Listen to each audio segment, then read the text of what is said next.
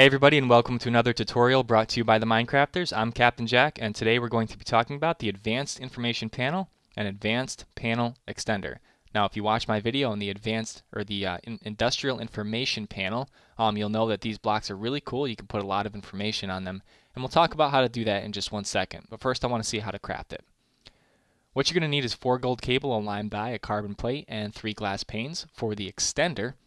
And for the main advanced information panel, you're going to need carbon plate, advanced circuit, a lime dye, and two gold cable along with three glass. And the regular industrial information panel, um, which is kind of a separate video, um, is just made up of some ink sacs, redstone, electronic circuit, lime, and glass pane. So this is a little bit harder to make. Um, the advanced panel extender doesn't actually do anything on its own. If you place that block in the world, you cannot click on it. Um, you cannot interact with it. It must be adjoined with a regular advanced panel like this. They look very similar. Um, and then once you put this panel extender down, it's just going to join up these blocks. And it has to be um, in like a rectangular or square shape in order for it to connect all those things. That's pretty, pretty self-explanatory. You can make some pretty big screens with this block. Um, this old one here, you can see how it looks. It's wooden, and this one's a nice sleek black color. I really like it. Um, again, you can't interact with, with this part of the block either. Um, but what's different about these two things is there's a lot less options in here. And basically, if you wanted color on your panel, you'd have to make a color upgrade and put it in there to give you that option. Um, if you want text, because there's no headline by default in here, you'd have to build put a text card in there, and so on and so forth. So this is basically a really basic version of the block that we're about to go over. And there's a lot of different options um, that you can play around with inside here. All right, this uh, block comes with uh, some really neat built-in features, and to go over a couple of them right here, not all of them. This, uh, these Roman numerals, 1, 2, and 3, basically cor correspond to 1 here, 2 here, 3 here, and if you press them, it'll bring up the information on those cards. So I have an energy card here, a liquid card here, and a text card here. So if I press 1, it's going to give me, it's going to tell me that I'm adjusting the energy and what information is going to be um, showing up on the panel. Here it'll show me the liquid options and on number three it opens up this option here and allows me to type in text. So that's what these do here. They just correspond to which cards are inside the panel. This is a spot for a range extender. We'll go over this in a second. This is uh, a built-in color mod and that will allow you to change and adjust the color of this thing without building a color upgrade. Um, so you can make some wacky colors and do all kinds of stuff with that and it's really cool.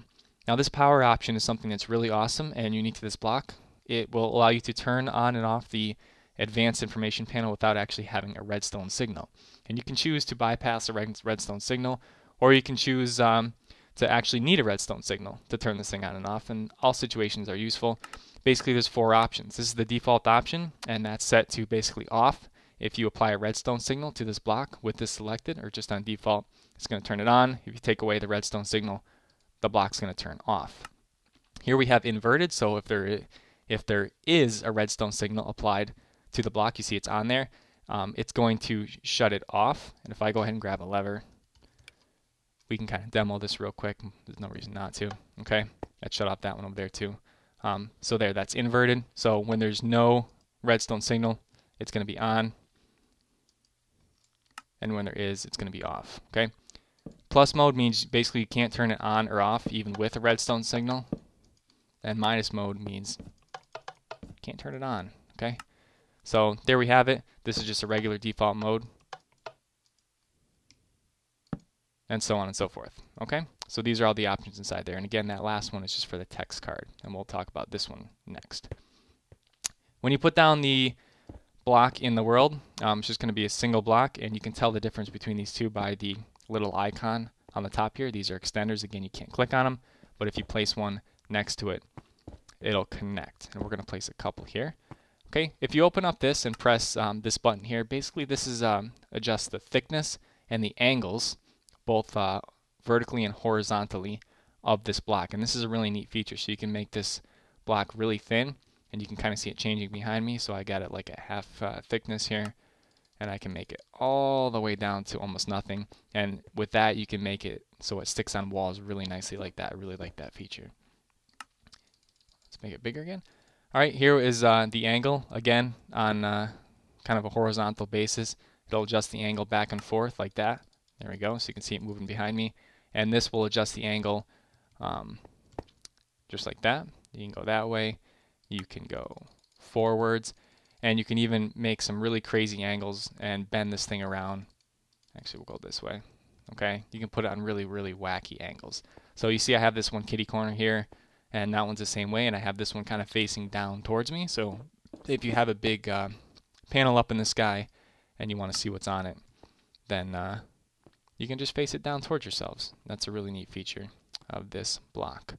Next, we're going to talk about all the different cards that you can put inside of these, and there's uh, ooh, six cards, I believe. We're going to start with the liquid sensor kit.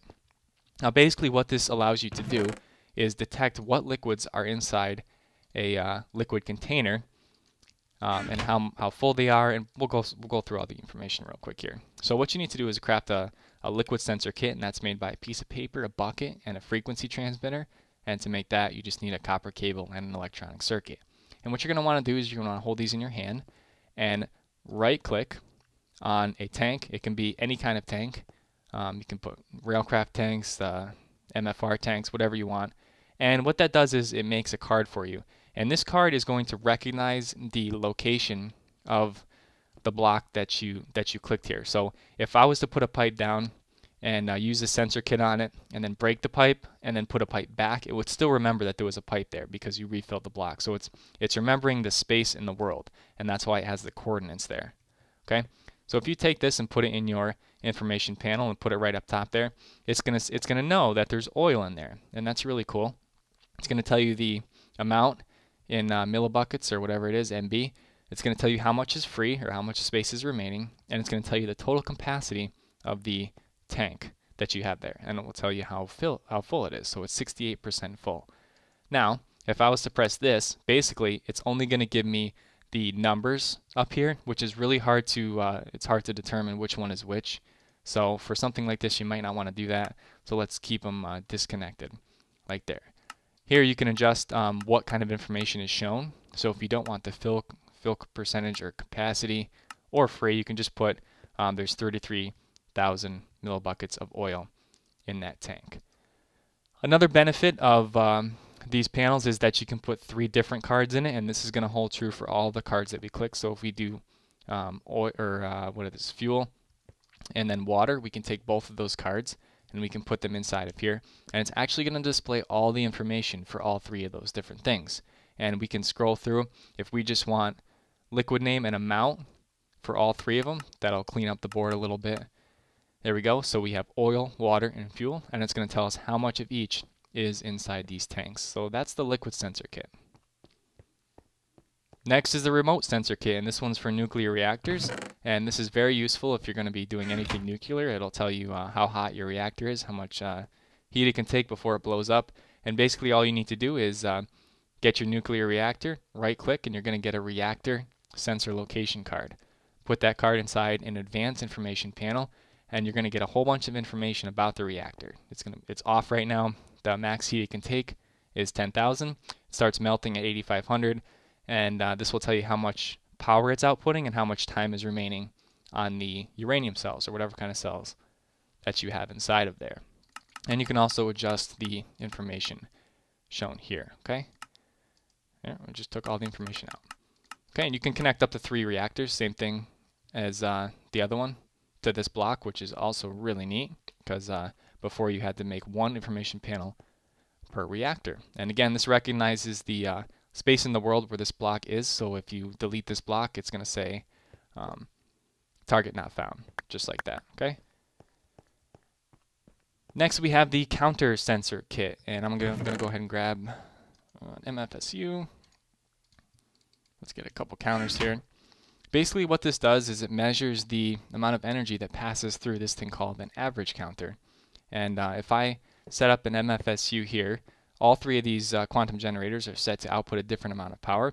And if we click on them, we can see that. The top one's putting out 32 EU per tick, the second one's putting out 128, and the third one's putting out 512. Now note that I have transformer upgrades inside of here, and that's um, because they would blow up if you don't have them there. So this is two will give bring you up to high voltage, um, one will bring you up to medium voltage, even though I have two there, and you basically don't need any for the 32 EU per tick.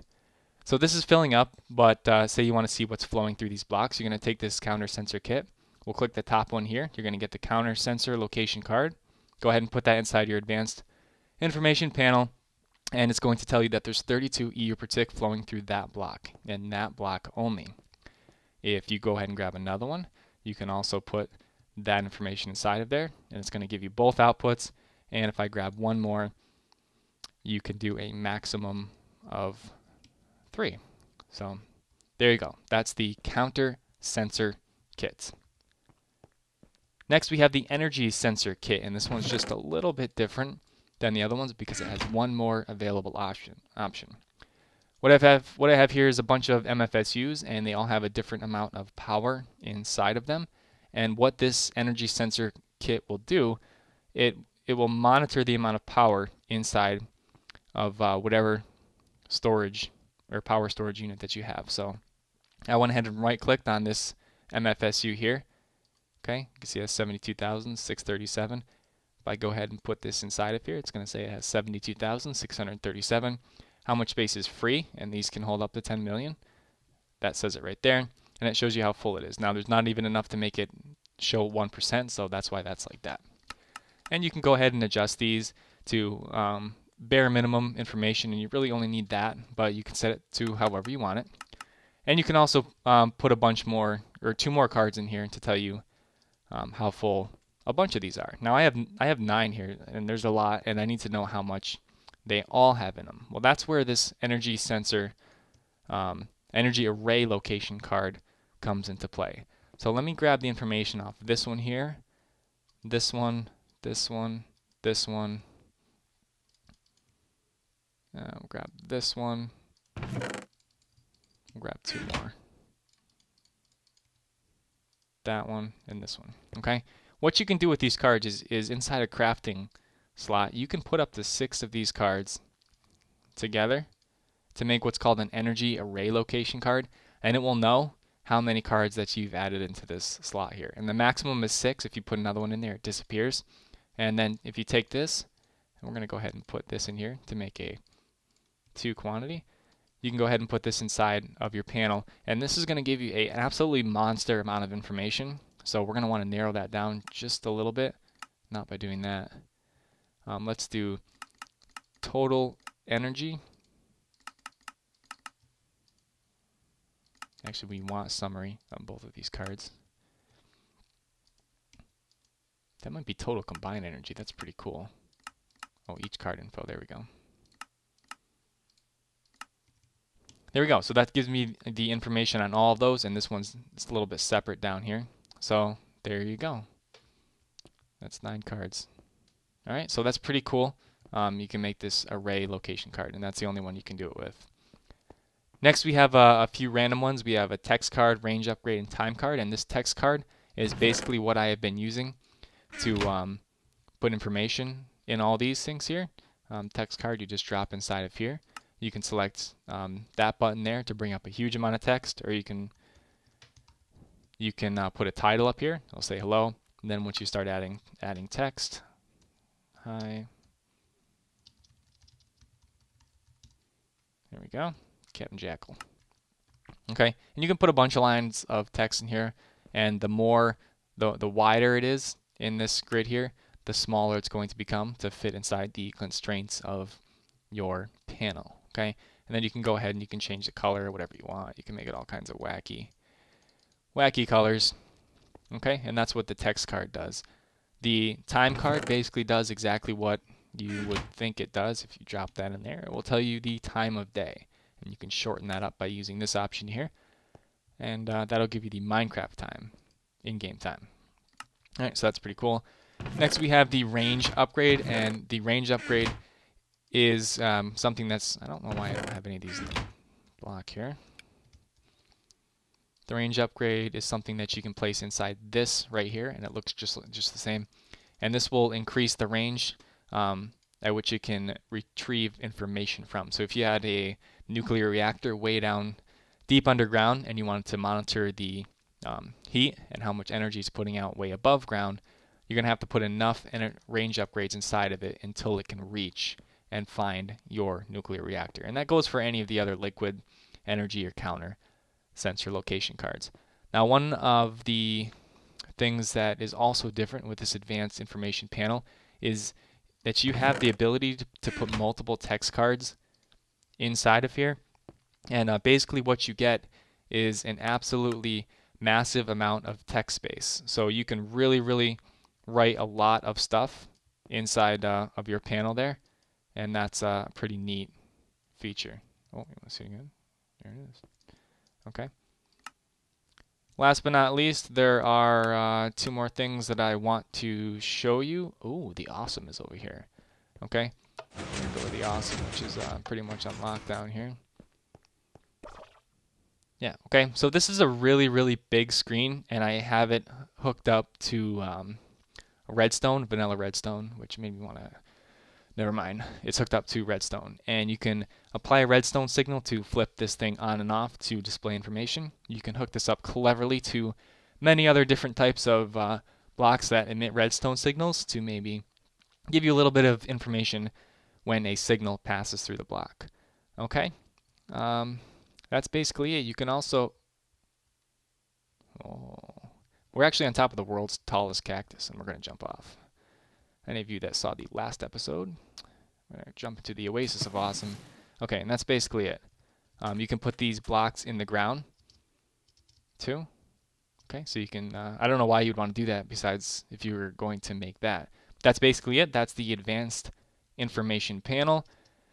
Not much information out there when I release a video. Um, hope this helps you guys understand this block and exactly what it does. Don't forget to uh, check out our channel, um, subscribe, give the video a thumbs up, um, and check out all of our social media outlets listed here. As always, guys, stay poised.